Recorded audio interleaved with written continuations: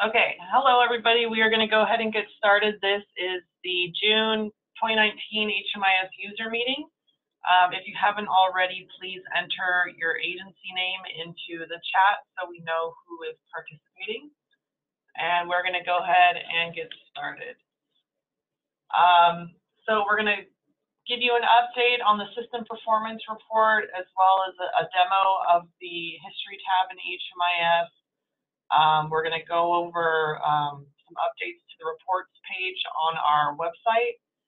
And then um, we have a couple more um, demos on approximate date started and the contact tab. We're going to update you on some available knowledge base articles. And then finally go over the COC um, funding grant consolidation as well as quickly update you on the transitional housing performance reports. And if there's any um, burning questions that you have or, or anything you want to see in HMIS, we can do that at the end during the QA session.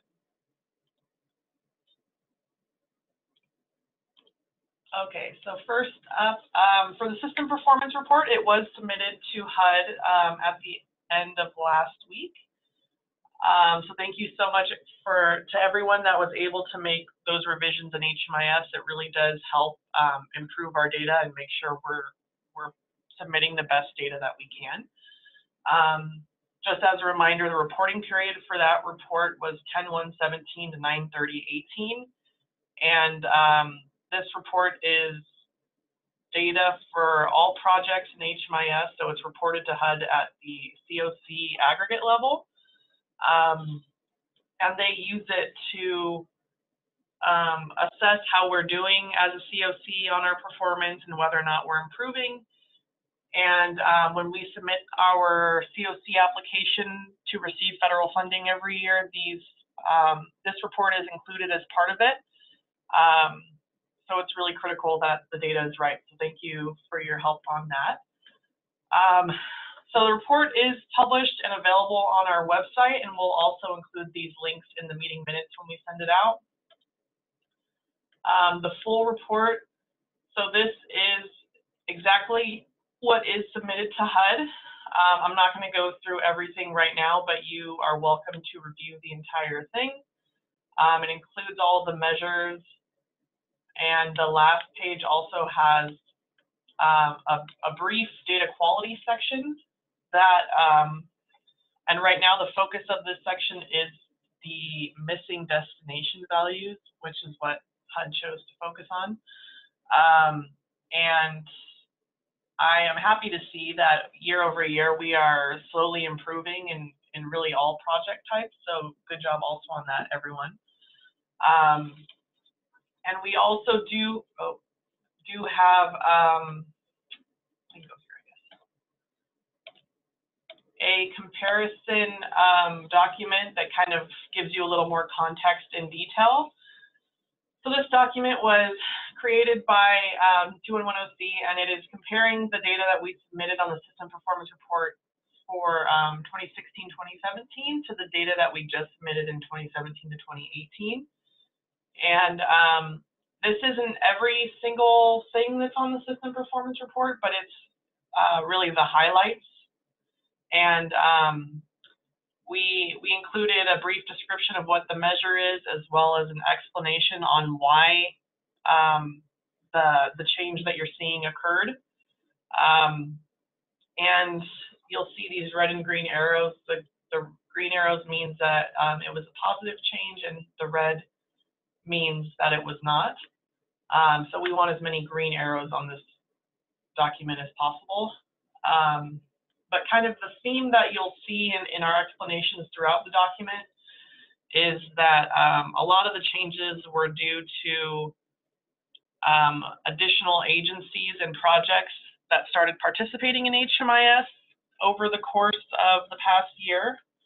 Um, that caused a definite increase in the number of clients included, which you'll be able to see in all of these measures. Um, and it also makes our data more accurate because we have a more complete picture of um, what's happening in our COC.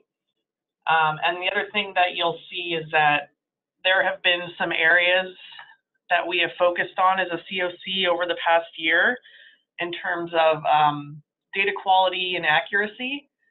Um, so that's another reason a lot of these measures changed the way they did.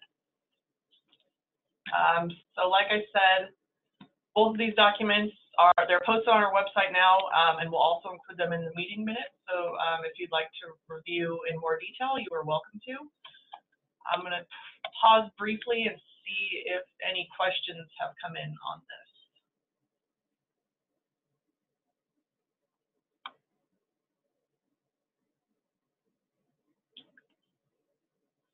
I'm not seeing any right now, so I'm going to um, move on. But if you think of anything, let us know, and we can definitely come back to it. Um, all right, so next up is the history tab. So I'm going to stop sharing my screen. Um,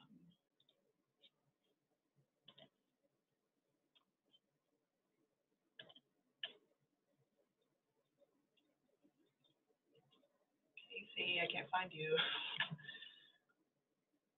Can you hear me? Yeah. Okay.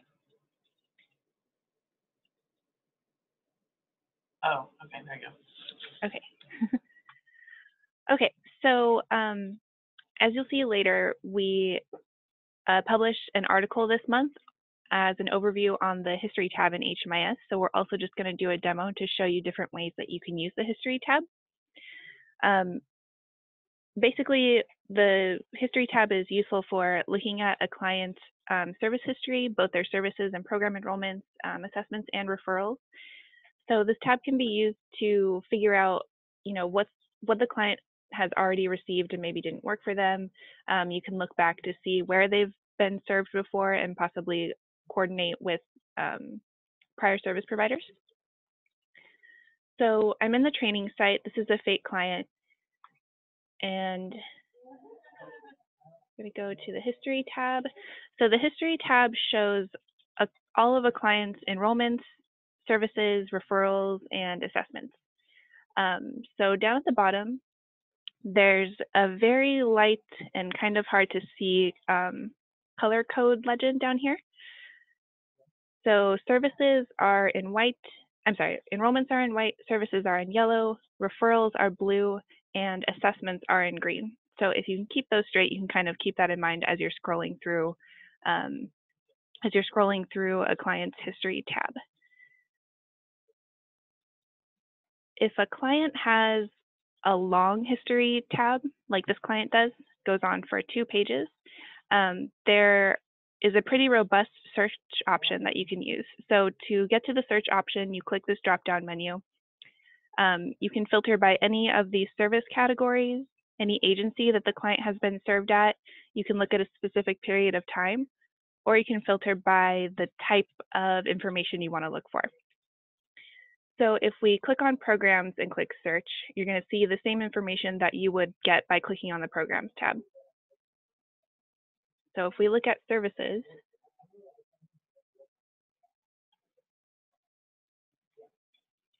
we can see that this client has received many services. Um, maybe we're planning on working with this client um, around employment. So we want to see what this client has had before. And we can see that this client has had a number of employment-based services, so maybe that's an area to focus on. And then you can clear this out and go all the way back. Um, the right sidebar is the same as you see on the profile page and the programs page. So it shows any active members in the household that the client might have, active services that they have, programs where they're active, and your clients will probably not have quite this many programs. And then you can also see the most recent services that they've received and the staff members who have worked with them before. All right, so if we look here at this last column that's not labeled, there are a number of icons that can be attached to items on the history page. So this first one that looks like a comment box is going to be a copy of a note that was attached to whatever the item is. In this case, it's a service and there's a note about the case management meeting that this client had. Down here, there's a dollar sign icon and this will show up if a client received a service that had a dollar amount attached to it. And there's also a link icon. So this will be attached mostly to um, program enrollments that are the result of a referral. So if you see a yellow item that has a link, you can hover over it and you can see where the client was referred to that enrollment from. Okay.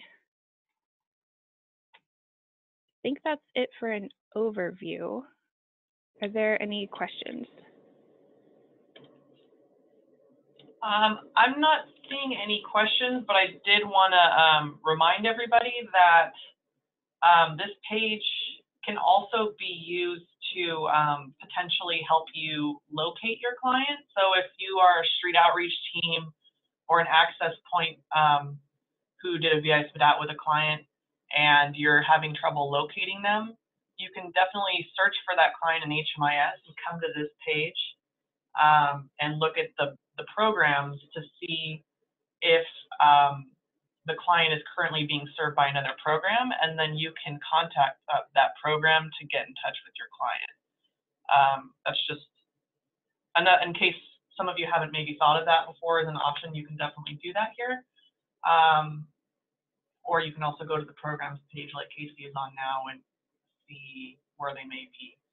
Uh, there's way too many active programs for this client, so uh, you should not see this many on a real client, but um, any of them that are active, that would be a way to try and reach out to your client if you're having trouble um, getting in contact with them. Um, I do see a question now. How do we add the service icons to the client? Um, you don't necessarily add icons to anything. The icons automatically populate based on whatever the item you've added is.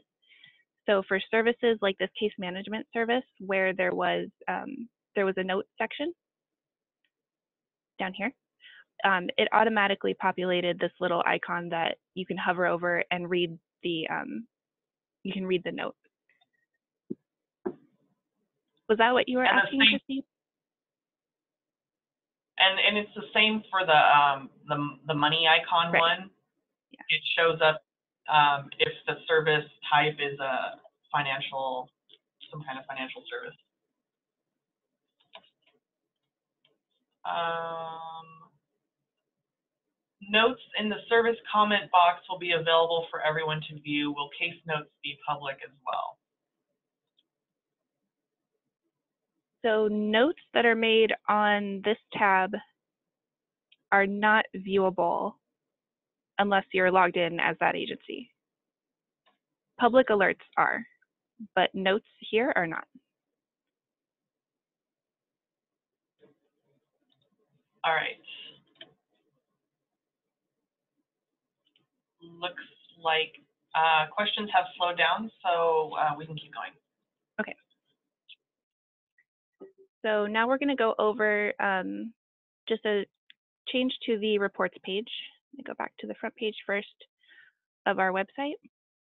So if you already know which report you're looking for, you can come hover over the um, report drop down here and click on any of these links to be taken to the page for that report. So this is the system performance reports page.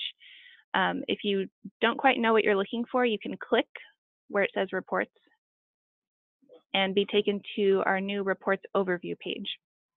So we created these categories of information um, such as COC level data. So reports that have COC level data will show data that is pulled from the entire COC as opposed to project level data, which is information that is drilled down to an individual agency or project level. So if you know you're looking for a specific type of data but don't necessarily know where to find it, um, you can come down to this little chart. And if you're looking for data quality, for example, you can look at the reports that have the check marks in that column. And these just link to the pages for that report.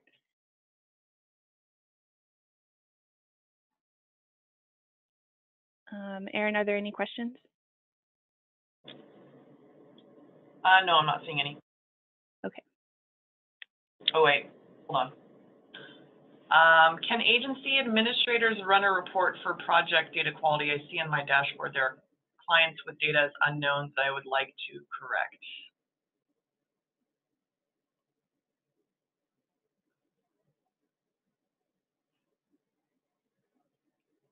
Um, so yeah, there are there are a number of reports that can be used to look at data quality.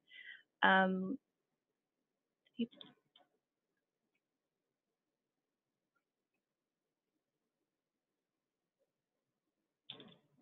and I think if you click on the number in the dashboard, it should show the identifier numbers that it applies to. Is that correct, Erin?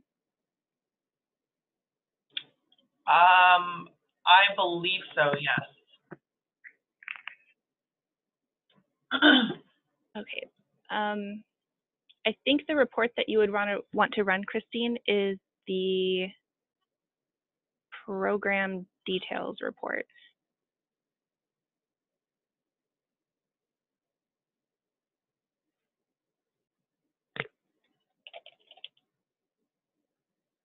So that's this one, um, GNRL 220. So depending on whatever data element you are looking at, you can run that report um, and it should show up since it's on the dashboard. If you aren't sure, you can always submit a ticket and we can pinpoint a more appropriate report for you. And Carmen, um, any plans to have descriptions for individual reports? So we do have, um, we have a reporting webinar that we made when we first um, came to Clarity that goes over the main kind of canned reports that you might want to use. And I don't know if the descriptions are copied in this article or not. So there aren't descriptions in this report, but if you watch the um, video or look at the PowerPoint slides, this might be what you're looking for. Um, there are descriptions and instructions for running each of these reports, and if none of these reports fit your needs, you can submit a ticket and we can point you to the correct report for whatever you're looking for. And for the um, the reports on our reports page, um, I suppose we could add a description to this chart. Oh. Um, but we also, if you click on any of these reports on that page, it does include a description there of what that report is.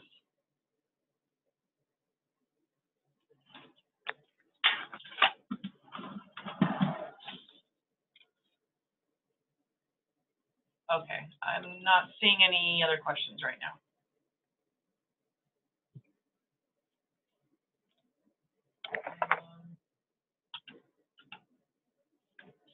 All right, so Elizabeth, do you want to share your screen?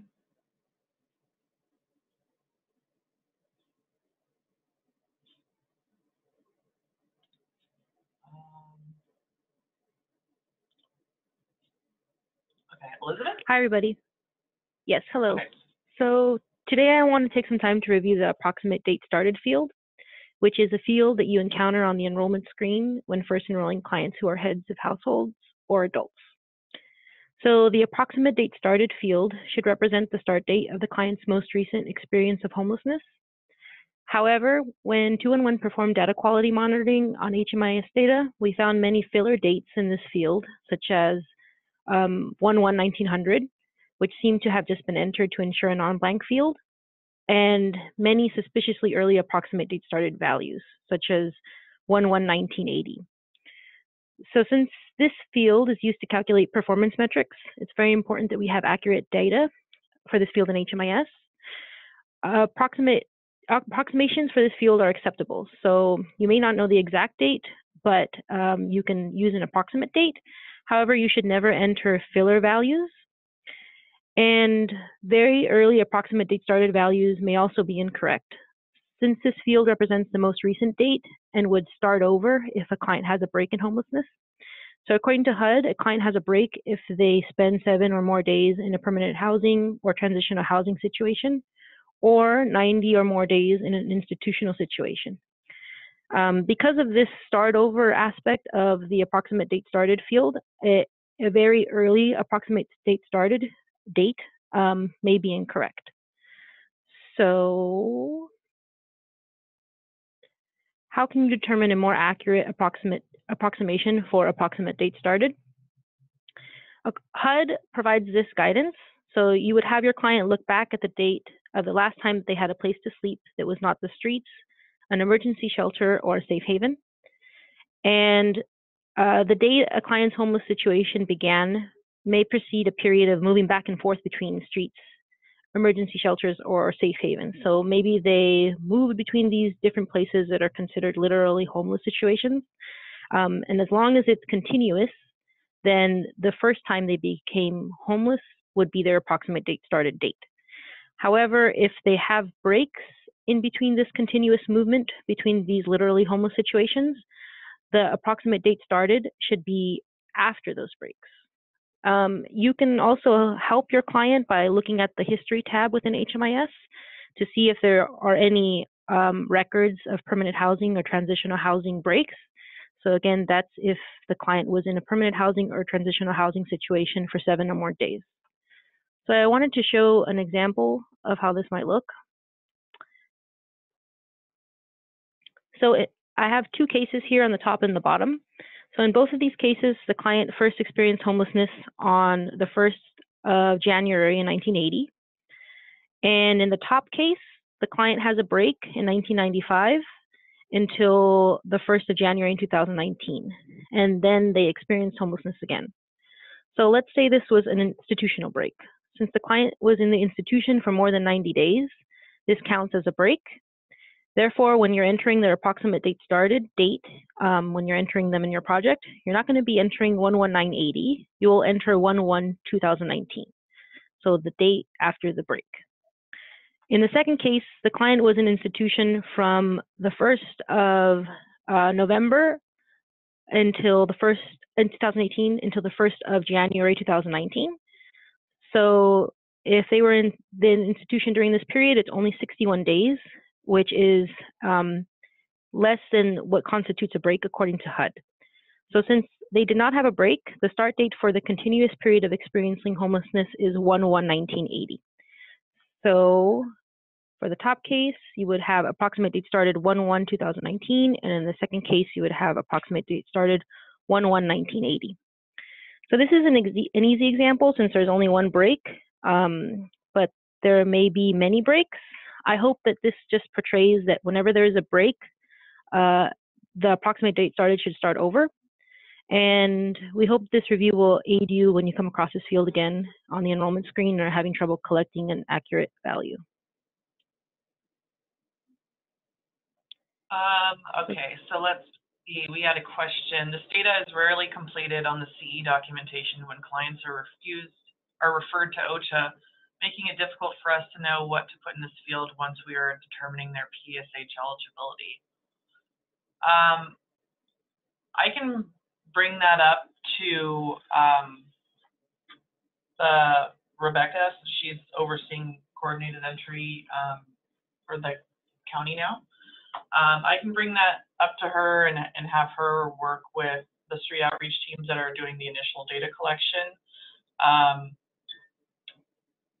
if if you do if you are able to um, talk to the client yourself, then um, you would ask them of the approximate date their homelessness started um, as of the point that the intake was originally completed. I know that doesn't, you don't always get a chance to work with the client directly, but um, they, that's when you would um, calculate their approximate date started.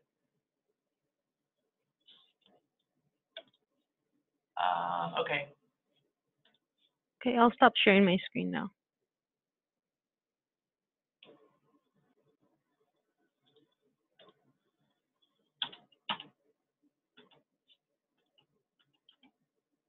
Okay. Um, Myra, do you want to share your screen? Let me, Yes. Can you hear me? yes.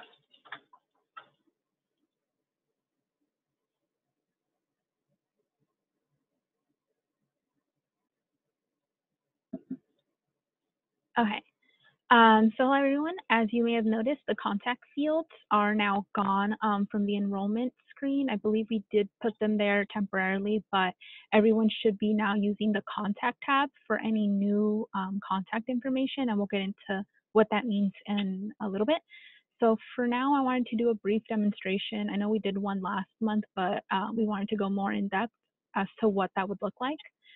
So let me just do a couple things on here and let me know if you have any questions. So to start, um, you want to click this Add Contact tab uh, to add a new contact for a client, uh, assuming that this is a new client and you're adding this information.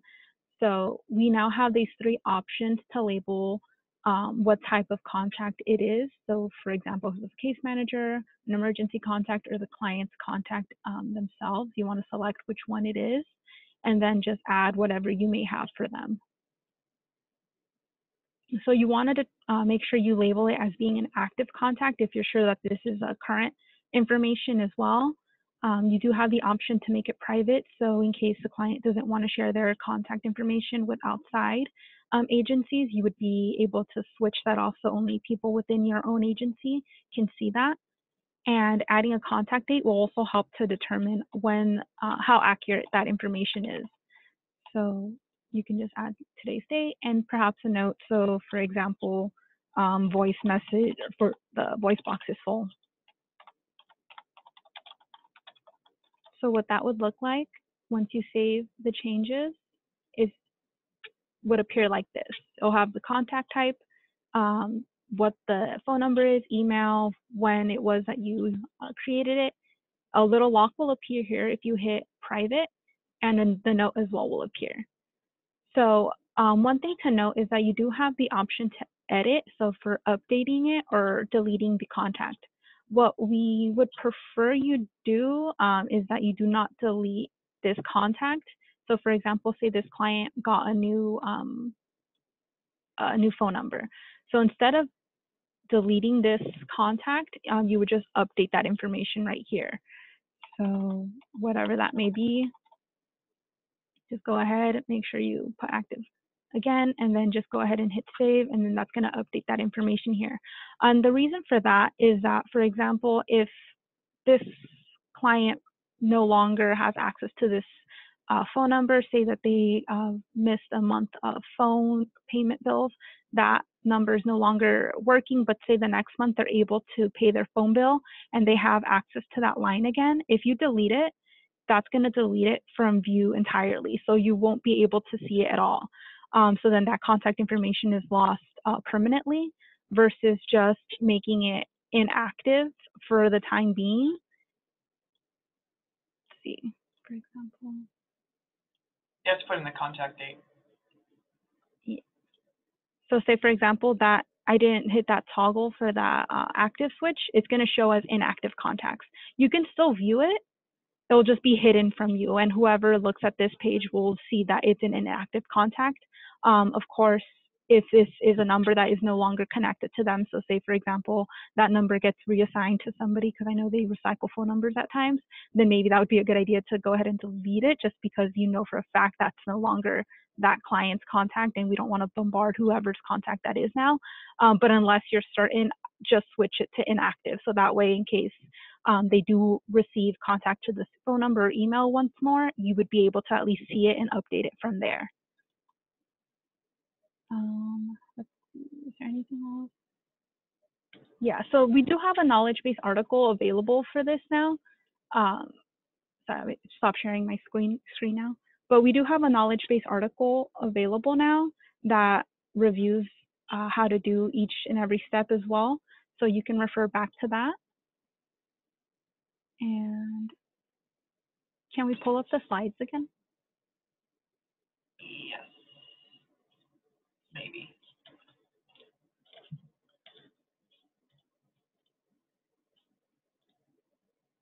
Oh, and then one thing to note, um, BitFocus will be finishing up the migration uh, for the old contacts over to the new contact tab in about a week. Um, so until then, the old contacts are on the enrollment as view only. So if you do have a new client um, information to add, go ahead and put that in the new contacts tab um, as all the other old contact information will be added over there within a week, hopefully.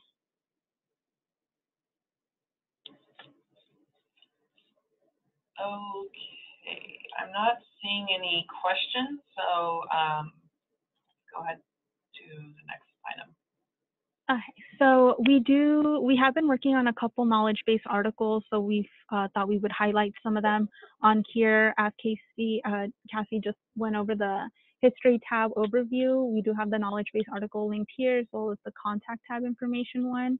Um, we also have one on how to add services, um, the annual assessment due reports, how to create notes and public alerts, status and annual assessments, running HMIS CAN reports, um, agency and project setup, as well as the COC grant consolidation, which I'll get into right now.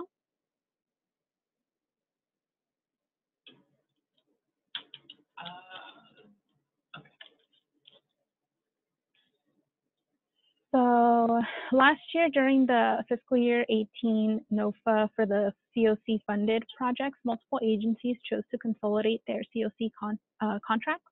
So we wrote an article that details how the consolidation process was done, how uh, funds were being drawn or should, should be drawn, and the expectations for the APR reporting for the consolidated grants.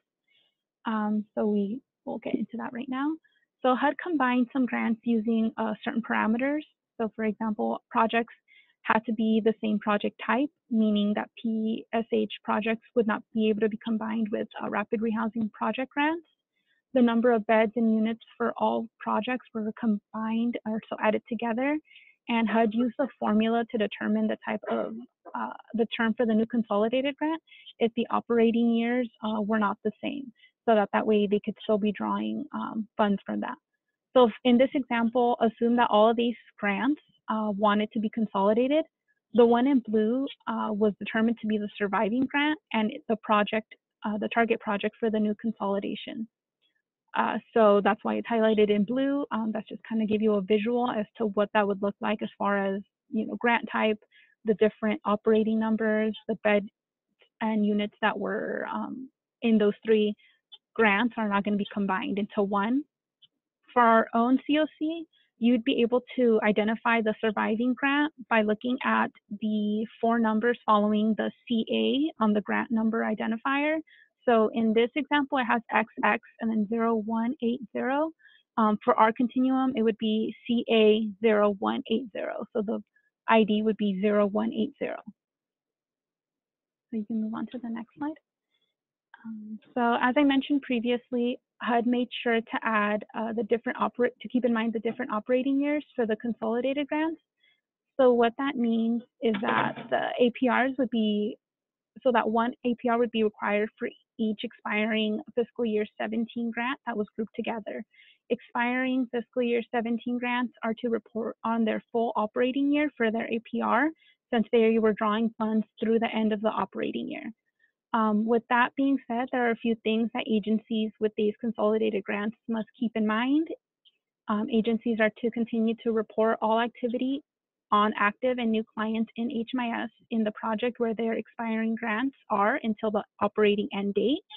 Agencies must generate an APR for each expiring grant. So one APR for each grant that was combined and a reminder that the APRs are required to be submitted to HUD within 90 days of the end of the operating year.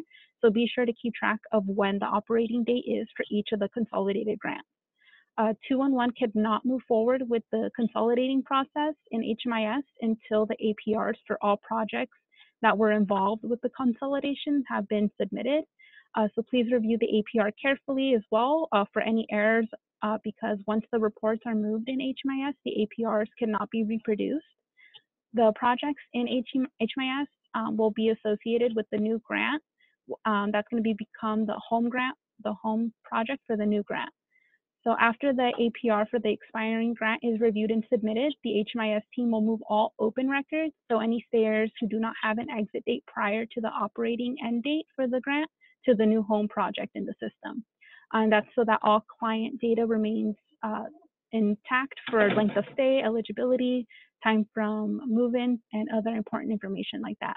Uh, agencies must notify the HMIS team when each of the APRs for every con grant contract uh, that was combined is submitted so that the active enrollments are moved over to the home project as soon as possible.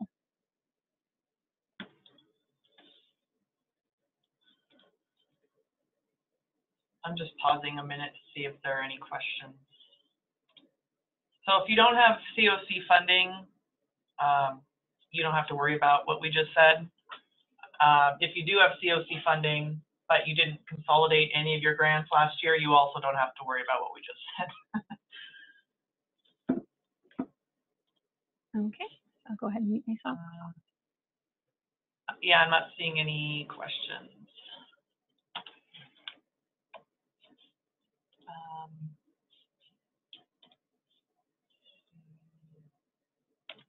Adriana? Can you hear me? Okay, good morning, everybody. Uh, next Thursday at the Data and Performance Management meeting, we're going to be presenting the Transition Housing Performance Projects a report, sorry. The report period for those projects is going to be 5-1-18 to 4-30-19. And also last week, we sent a correction spreadsheet to all the transitional housing providers. So the idea is that you review the data and uh, make the corrections in HMIS. So uh, the, the reports, the final the reports that we're going to be presenting next Thursday are reflecting those corrections. So that's why it is important for you to, to address them. And also thank you very much for making the corrections. And for those of you who enter tickets, we get excited when we get tickets about corrections. um, also, the final reports will be posted on our website. They are going to be in the reports page that Casey just showed you guys. And uh, just a final reminder that the meeting is going to be next Thursday, June 13th at 1.30 p.m. here at the CASA training room. And that, that is it.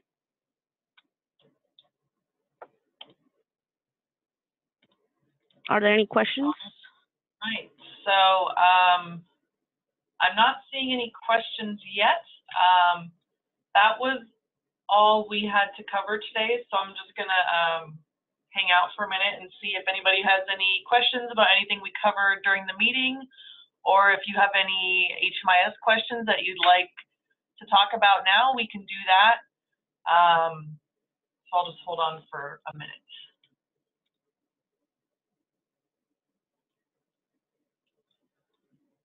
Um, we got a question, what is the deadline to review that data? I believe it was actually yesterday.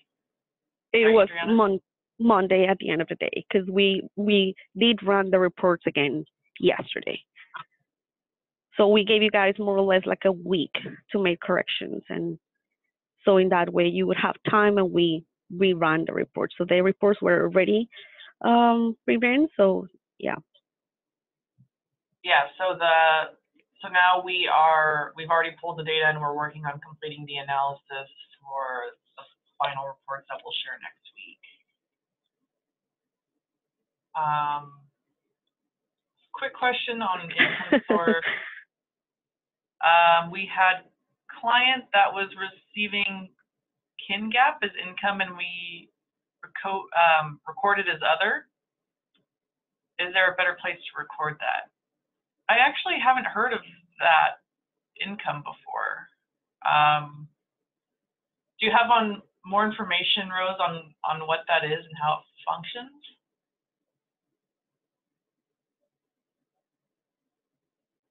Or if you don't know now, um, you could also put in a ticket and we can look at it. But I I haven't heard of that income source before. Um, so I would say as of now, yes, other would be the right place to record that. Oh, kinship income for caring for a family member's children. Um,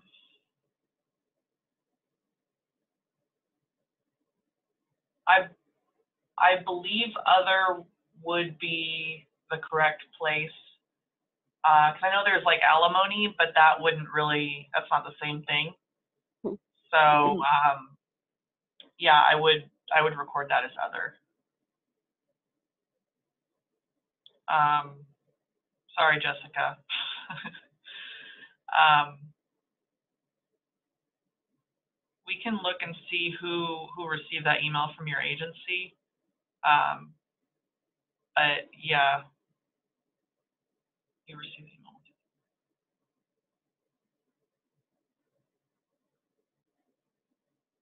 Any other questions?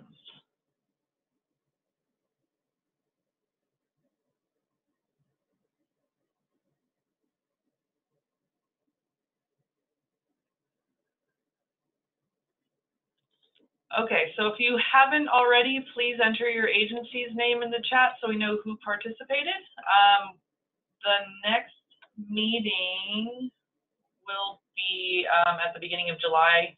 Um, we'll include the exact date in the meeting minutes, and we will send out this um, recording as well as those meeting minutes this week. And um, thanks everybody for attending, and we will see you next month.